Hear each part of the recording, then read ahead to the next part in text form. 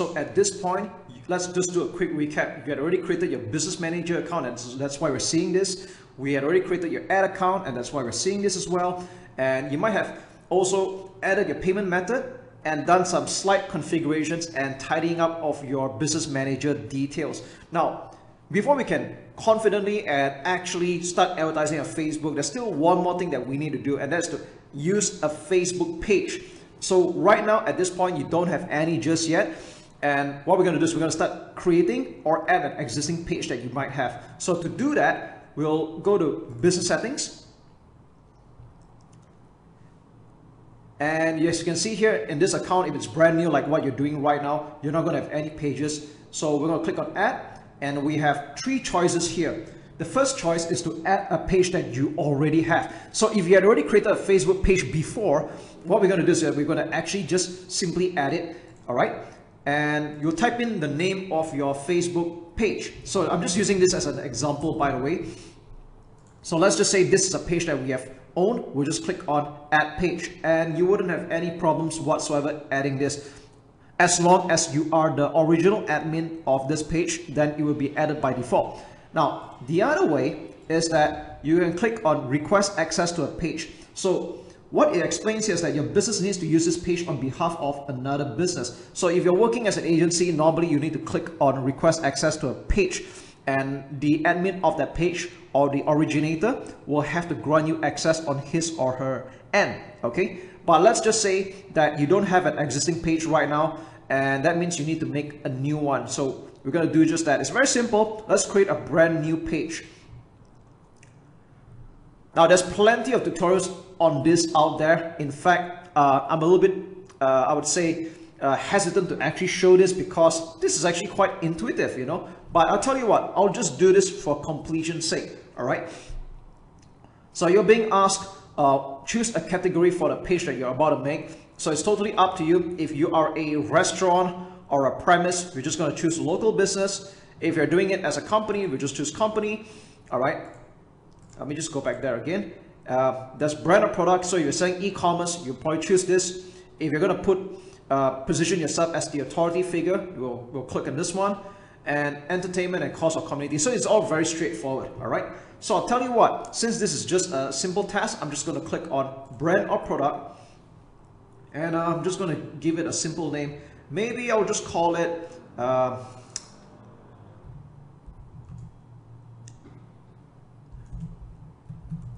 All right, so I'm just making this up, by the way, it's not a real thing. All right, BMW Motor Works. I'm going to just choose a category for this one. You just choose the right category.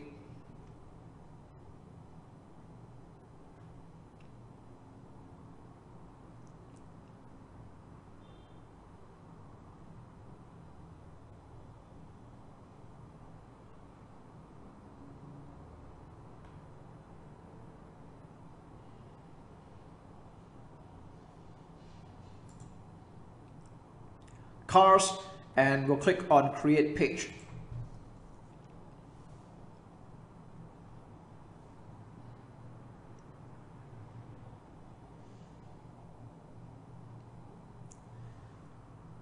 So here we are right now, we have just created an empty Facebook page and at this point, to be very frank, you don't have to overthink this part if you don't have to basically use this page forever if you don't like using this page you can either change the name or just create another one because it's just that simple. Now what we're going to do is that we're going to do some editing and some configuration. So we're going to click on view page and start putting in some changes that we're going to do all right so at this point we can click on the, the page here so what we're going to do is that we're going to ignore this, all right? We're going to click X on this. We don't really need that. There's a wizard that shows you that uh, you're going to start adding some things like, you know, a cover, a profile picture, create a username, and maybe even get some likes as well. So we're going to do this one step at a time. I'm doing this for the benefit of uh, users who have totally no clue about how Facebook page actually works. So Maybe I'll just do this a little bit slower here, then you can catch the drift, all right? Now, first and foremost, let's click on the most obvious one, and that's to add a picture, all right? You can put in any picture you want, and for the fun of it, I'm just gonna find a picture from Google. Uh, let's just go to call it uh, BMW. All right, BMW, okay? All right, uh, maybe I'll just go with this nice picture, okay? I'm gonna save that into the desktop all right and then I'm gonna click on update. Upload photo.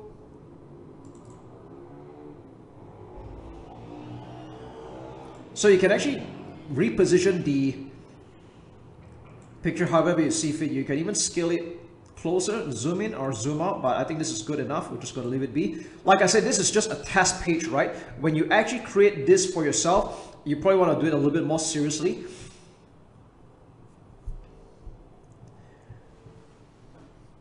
Now, this picture here can be a picture of your own. It can be a, a, a, logo of your company as well. It's totally up to you. But like I said, this is just a test that we're doing right now. And then next thing we're gonna do is we're gonna add a cover. Maybe you'll just find another nicer picture or something that's congruent as well. Maybe I'll just go with, let's see. Maybe we'll go with this one, all right? Again, I'm only doing this as an example. It's totally up to you how you wanna add your own pictures but at this point I'm not going to think too much. I just want to uh, make this page look more legit. And click on upload photo and there we go. So it's going to take a while to upload a picture. It might take several seconds.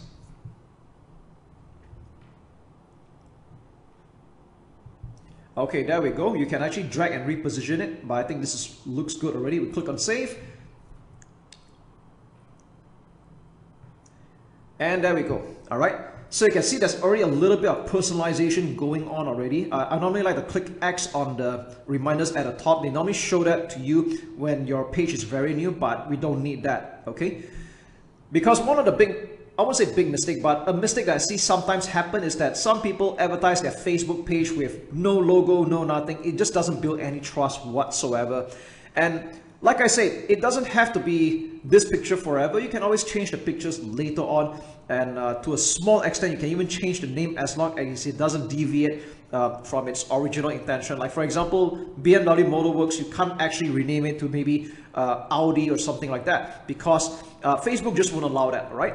But what we're going to do now is that we're going to click on username and we can give it a username that we want. So in this case, I'm just going to call it BMW Motorworks. Uh, let's see if this exists yet. All right. Okay, so I'm not eligible to create a username, so maybe let's just try adding a dot over here. Does it work? Okay, not. All right. So you can just come up with any name that, that you like until it actually works, right?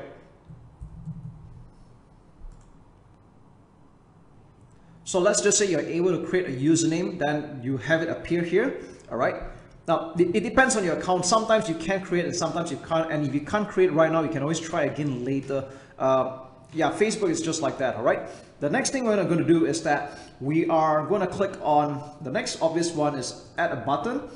We're going to keep this very simple. Just say contact you and send message, all right? Now, there are other options that you can do like send email or WhatsApp, but in the interest of time and keeping things simple, we're just going to click on send message. Okay, click next and we click on this and we click finish. That's it.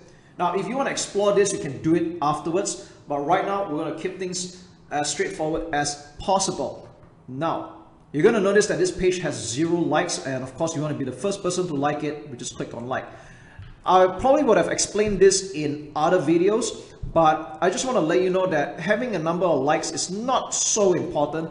Uh, of course, we don't want to run a Facebook ad with like zero likes on the page. It doesn't build it, uh, like a lot of credibility with that. But at the same time, you don't have to spend a lot of money getting a lot of likes. Uh, you don't need like hundreds or thousands of likes uh, or even like five, six figure likes for that matter.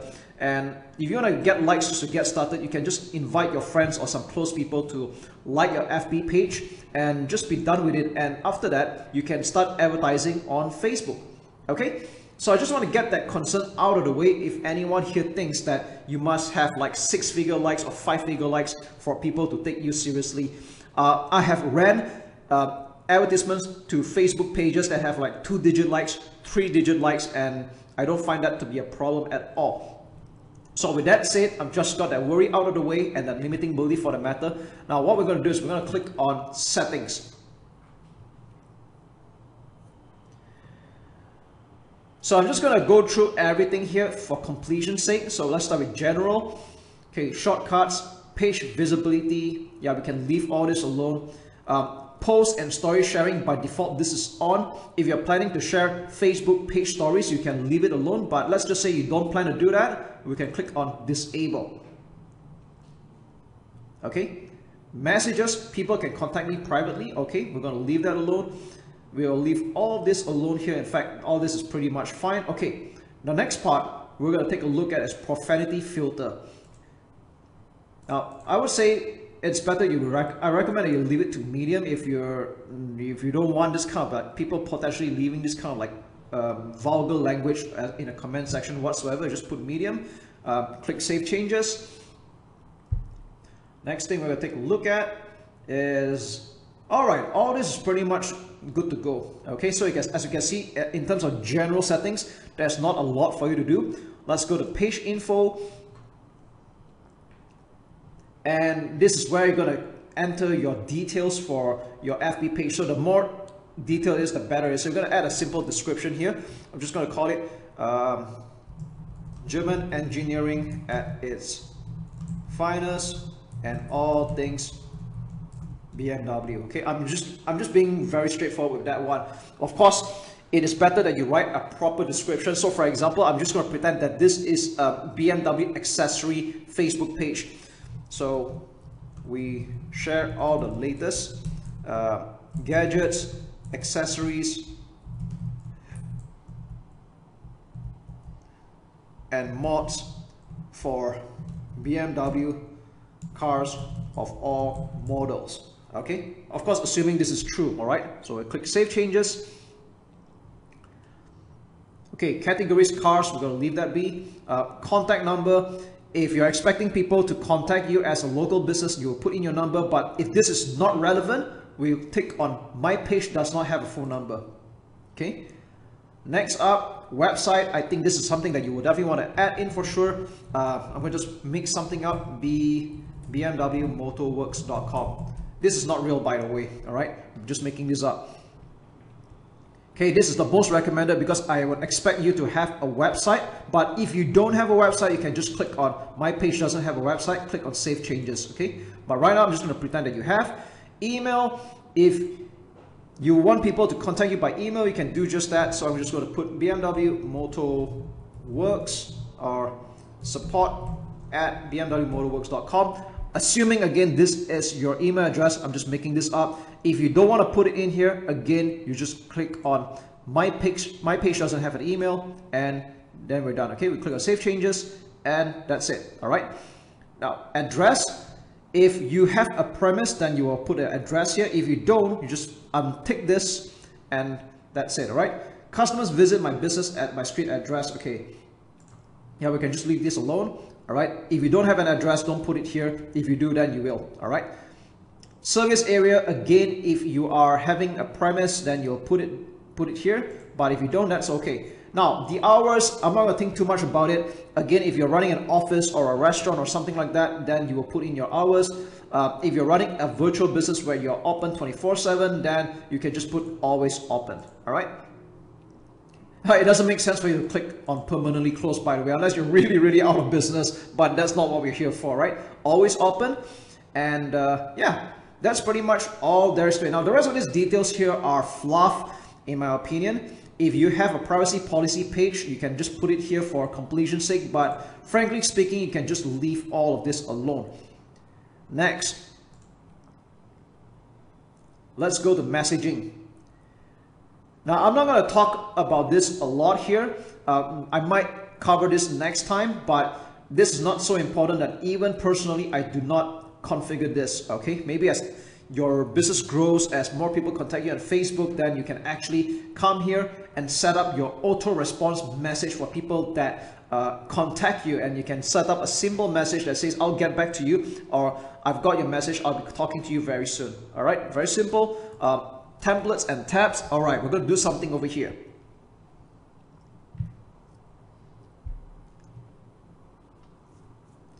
Okay so this is something that you will definitely want to minimize the clutter and you notice that by default you're using the default tabs which includes all of this like home post and the whole list here. But to be very frank, you don't need all of this. So what I'm going to do is I'm going to click on turn off the default tabs and we're going to start removing things that we don't need. So for home, it's always there.